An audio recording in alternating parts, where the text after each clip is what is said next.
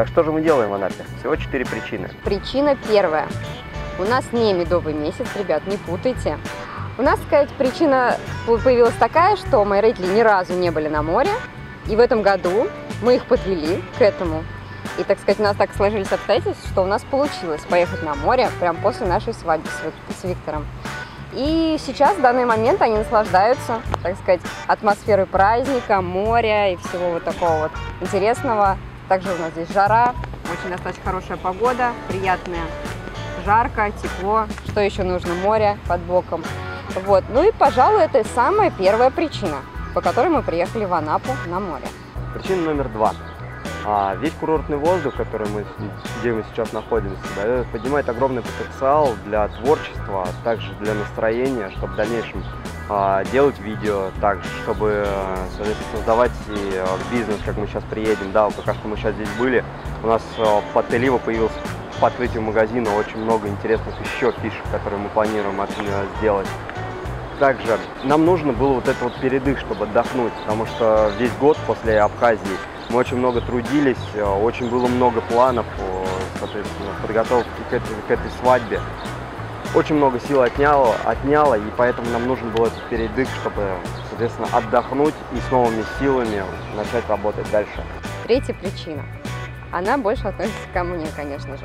Так как э, подготовка к свадьбе, какая бы она ни была маленькая или большая, отнимает много сил, времени и нервов, это тоже можно сказать то я очень устала от бытовухи, захотелось просто расслабиться, отдохнуть, просыпаться рано утром, идти в ближайшую кафешку, столовую, а, покушать и идти также отдыхать.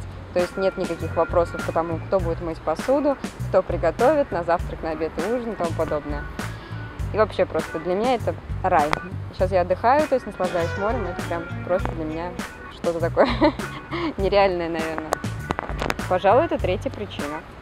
Также третьей причиной является это наличие хороших, вкусных, сладких, ароматных овощей и фруктов, которых мы хотели уже наесться целый год. И вот, наконец-то, дорвались. Вот первое как раз мы, видите, купили ежевички. Сейчас будем ее кушать. И забыла сказать самое главное. Перед каждым употреблением пищи, пожалуйста, мойте фрукты, овощи с водой тщательно. И, соответственно, руки первым делом, так сказать. А потом пробуем. Ммм, вкусно. Очень вкусно. А вам не дадим. Четвертая причина, почему мы сейчас находимся в Анапе. Я хочу в 2019 году переехать жить э, на юг России. Я выбираю между такими городами, как Сочи, Геленджик, на Анапа, Новороссийск. Мы приехали в первый город Анапа, мы здесь были уже в 2014 году, отдыхали. Город нам понравился, но сейчас мы хотели пройтись уже посмотреть, где живут местные. То есть, соответственно, строительство всех этих домов, которые там, ну, я не знаю, вдалеке это будет не видно. Мы, может, пройдемся по этим всем районам, вам покажем. Скорее всего, так и сделаем. И, соответственно, выбираем э, именно места для проживания в будущем. А почему именно юг России? Я уже как говорил э, ну, во второй причине, это природа, климат, это, соответственно, развитие курорта, он намного более развит, чем, к примеру, ну, наши города Подмосковья, скажем, Орехово, Зуево, Кашира. То есть здесь есть где детям повеселиться, есть куда сходить, есть чем позаниматься.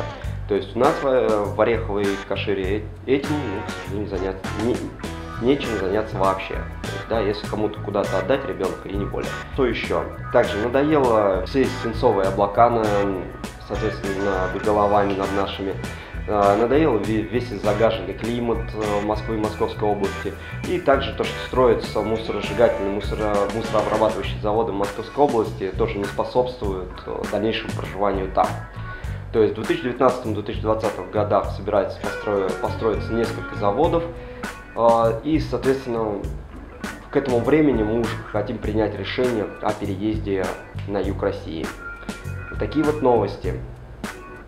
Подскажите, какие города, а, может быть, стоило бы еще посмотреть, к примеру, Астрахань, к примеру, может быть, даже Владикавказ, там, то есть какие города вы посещали и какие для жизни вам показались, может быть, даже лучше. Всех благодарю за просмотр данного видео. Ставьте лайки, подписывайтесь на канал. И соответственно, переключайтесь. Да, кстати, всех благодарю за все комментарии и также извиняюсь за то, что я не ответил на них. Э, По причине того, то, что очень много работал, не было времени вообще даже, по сути, даже в контакты, в одноклассники зайти. Перед всеми извиняюсь, то, что не ответил. После этого видео начну уже отвечать на все ваши комментарии, на все ваши вопросы. Вот. Ну а мы пойдем снимать «Шторм». «Шторм на море». 29.07.2017. Город Анапа.